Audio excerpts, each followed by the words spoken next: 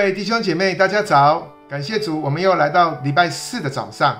今天，让我们一起以出埃及记的第十九章，从十六到二十五节来思考上帝的话。我们一起先来读今天的经文，请。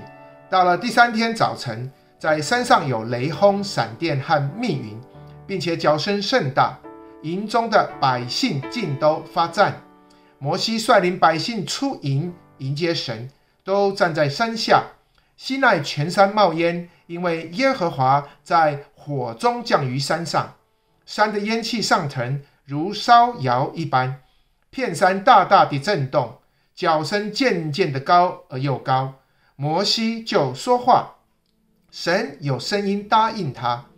耶和华降临在西奈山顶上，耶和华召摩西上山顶，摩西就上去。耶和华对摩西说：“你下去嘱咐百姓，不可闯过来到我面前观看，恐怕他们有多人死亡。又叫亲近我的祭司自洁，恐怕我忽然出来击杀他们。”摩西对耶和华说：“百姓不能上西奈山，因为你已经嘱咐我们说，要在山的四围定界限，叫山成圣。”耶和华对他说：“下去吧。”你要和亚伦一同上来，只是祭司和百姓不可闯过来上到我面前，恐怕我突然出来击杀他们。于是摩西下到百姓那里，告诉他们：愿神赐福他自己的话。亲爱的弟兄姐妹，早安。那我们看到今天的经文真的是出埃及记的中心，那也就是上帝要带以色列人出埃及的。目的，那今天我们看到，那就是上帝要与他的百姓见面。那这是上帝第一次向以色列的百姓显现。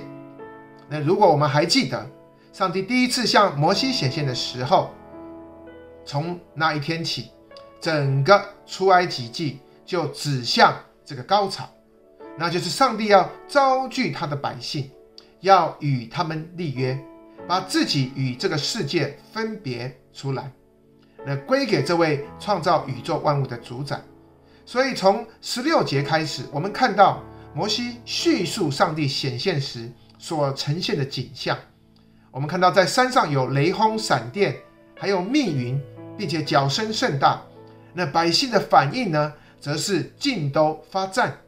那西奈全山冒烟，因为耶和华在火中降于山上。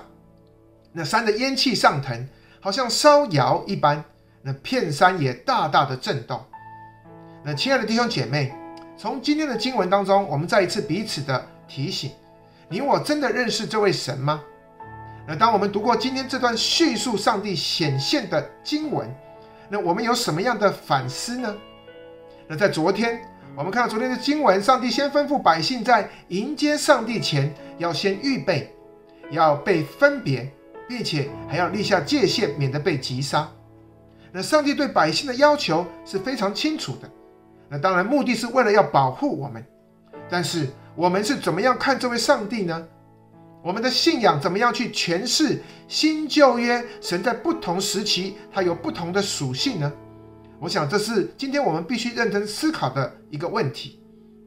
那我们的神知道我们生活在这个世界上，所以我们其实。也很容易被这个世界所影响，所以有时候我们因为自己软弱了，所以我们也似乎把这个神，也就是这位上帝看小。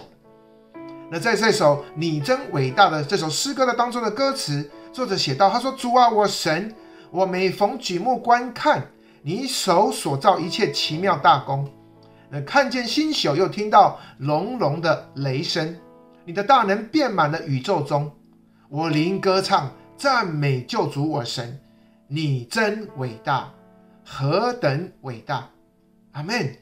所以，亲爱的弟兄姐妹，我们看到借着今天经文的上半部，我们的神他是威严的神，我们的神他是伟大奇妙的神，阿门。所以，其实没有任何人可以在这位上帝的面前能够站立得住。那神是伟大的，我们的神也是蛮有能力的，所以当上帝显现的时候，我们看到有脚声渐渐的高而又高。那这代表神他就是一位得胜的君王，所以我们应当惧怕的不是我们眼前的遭遇，或者是我们所遇到的人，而是敬畏这位大而可畏的上帝。那今天经文的下半部，我们看十九节说，摩西就说话，那神有声音来答应他。那其实我个人很喜欢这段经文，我其实也很羡慕摩西可以直接与上帝来对话。那亲爱的弟兄姐妹，你有与神对话的经验吗？我不知道你有没有跟我一样也羡慕摩西吗？你渴慕跟神对话吗？那这是我们借由今天的经文也可以彼此思考的地方。我们看到，虽然摩西能够与上帝面对面的沟通。但是这是上帝的选择。如果我们从过去来看，仍有一些的历史的蛛丝马迹，帮助我们能够明白我们如何才能够与上帝亲近呢？首先，我看到我们要先被分别出来。我们看到摩西被分别，亚伦被分别，百姓被分别，那祭司也在今天的经文当中被分别出来。我们看到，在彼得前书二章九节经文说：“唯有你们是被拣选的族类，是由君尊的祭司，是圣洁的国度，是属神的子民，要叫你们宣扬那招你们出黑暗奇妙光明者的美德。”阿门。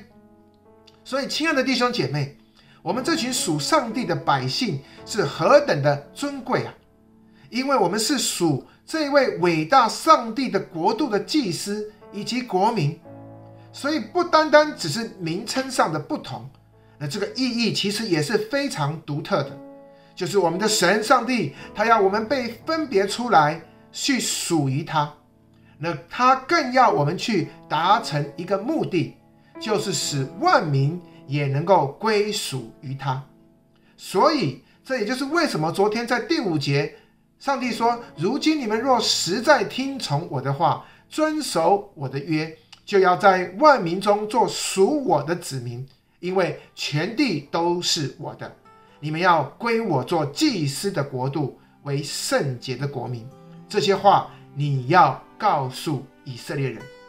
但是很可惜的是，我们看到以色列百姓在之后他们失败，以色列并没有照着上帝的旨意。去救赎列国，我们看到他们甚至离弃神，导致在以色列当中，我们看到他们国破家亡，甚至他们被掳。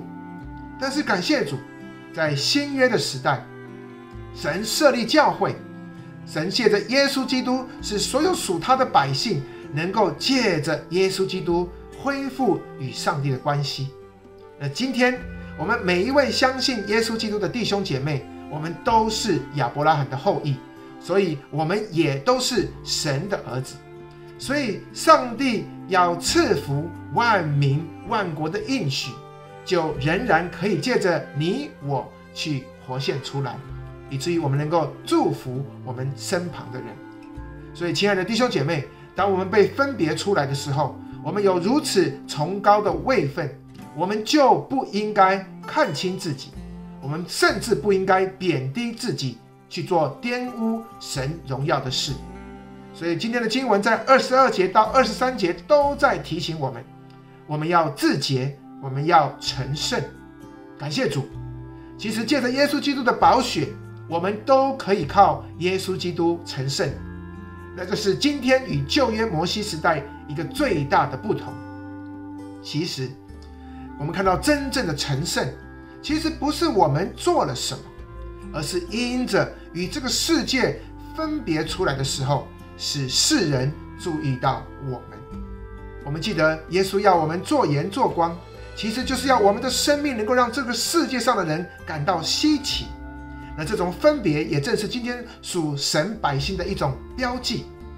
那基督徒哪些事应当做，哪些事不应当做，因着你的身份不同。